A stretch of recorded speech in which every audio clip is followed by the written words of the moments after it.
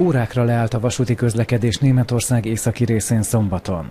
A Deutsche Bahn kommunikációs rendszere bénult meg, a vasúttársaság szakemberei szabotást gyanítanak a leállás hátterében, és két kábel szándékos átvágását emlegetik.